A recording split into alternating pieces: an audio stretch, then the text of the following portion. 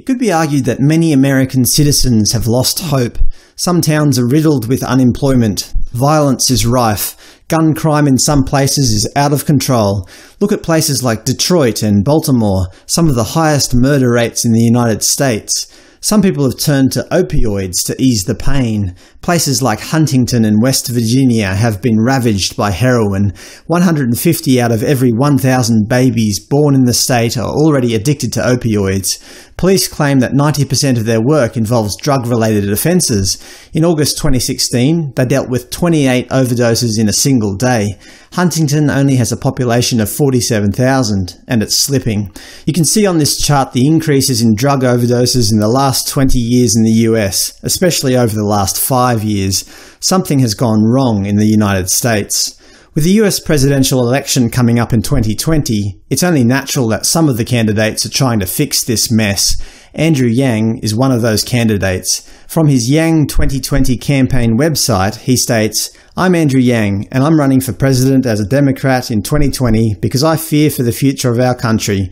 New technologies, robots, software, artificial intelligence have already destroyed more than 4 million US jobs, and in the next 5 to 10 years they will eliminate millions more. A third of all American workers are at risk of permanent unemployment, and this time the jobs will not come back.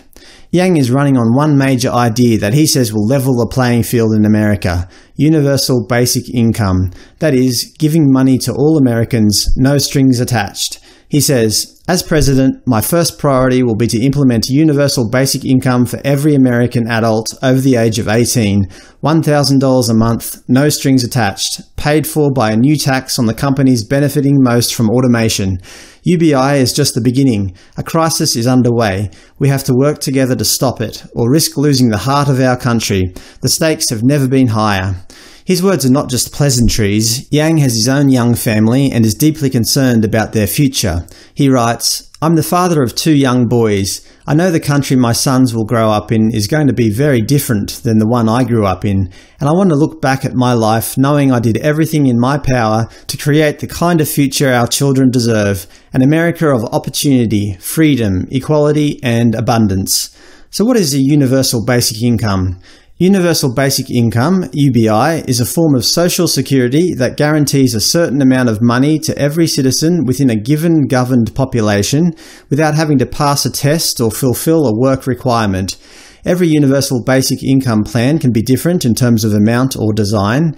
Andrew Yang is running for president as a Democrat in 2020 on the platform of universal basic income. The UBI he is proposing for the United States is a set of guaranteed payments of $1,000 per month, or $12,000 per year, to all US citizens over the age of 18. Yes, that means you and everyone you know would get another $1,000 per month every month from the US government, no questions asked. I know what many of you may be asking. How would America pay for such a scheme? It would be easier than you might think. Andrew proposes funding UBI by consolidating some welfare programs and implementing a value-added tax VAT of 10%. Current welfare and social program beneficiaries would be given a choice between their current benefits or $1,000 cash unconditionally. Most would prefer cash with no restriction. We already have a VAT in Australia. It's called the GST. Actually, 160 out of 193 countries in the world already have a value-added tax or something similar, so it's nothing new. Yang proposes that there will be four sources to pay for the proposed UBI. They are 1. Current spending. We currently spend between $500 and $600 billion a year on welfare programs, food stamps, disability and the like. This reduces the cost of UBI because people already receiving benefits would have a choice but would be ineligible to receive the full $1,000 in addition to current benefits. 2.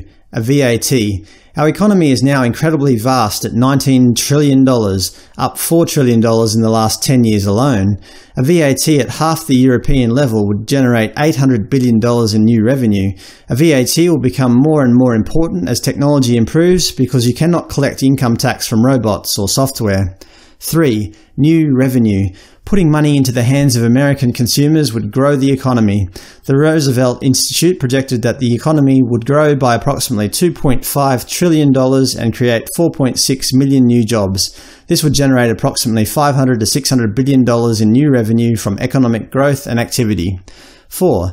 We currently spend over $1 trillion on healthcare, incarceration, homelessness services, and the like. We would save 100 to 200 billion dollars as people would take better care of themselves and avoid the emergency room, jail, and the street, and would generally be more functional. Universal basic income would pay for itself by helping people avoid our institutions, which is when our costs shoot up. Some studies have shown that $1 to a poor parent will result in as much as $7 in cost savings and economic growth. And lastly, what are the benefits of a universal basic income? UBI encourages people to find work. Many current welfare programs take away benefits when recipients find work, sometimes leaving them financially worse off than before they were employed. UBI is for all adults, regardless of employment status, so recipients are free to seek additional income on top of their UBI. UBI reduces bureaucracy. It's easier to implement a welfare program without complicated eligibility requirements. UBI increases bargaining power for workers because a guaranteed unconditional income gives them leverage to say no to exploitative wages and abusive working conditions. UBI increases entrepreneurship because it provides for basic needs in the early lean days of a company and acts as a safety net if the business fails. UBI improves the mental health of recipients because it reduces conditions of scarcity, poverty, and financial insecurity, major sources of stress for millions of people. UBI helps people make smarter decisions. Studies have shown that people in straits of economic insecurity have reduced cognitive ability equal to 13 IQ points. UBI would provide the security people need to focus on important things like their families. UBI improves physical health. With increased economic security, people are less prone to stresses, disease, and self-destructive behaviour. A UBI experiment in Canada saw hospitalisation rates go down 8.5%.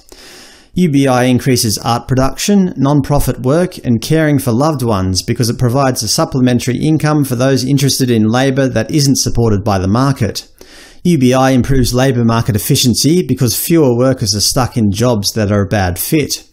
UBI improves relationships by reducing domestic violence, child abuse, financial stresses, and sources of conflict. It ensures that everyone has an optimistic sense of his or her own future and has the mobility to get out of abusive relationships. And there we go. That's Andrew Yang's 2020 presidential campaign in a nutshell. Some Australians might be asking, how does this affect me? Well, it doesn't directly affect you, but I can guarantee you if America implements a universal basic income, Australia will soon follow suit.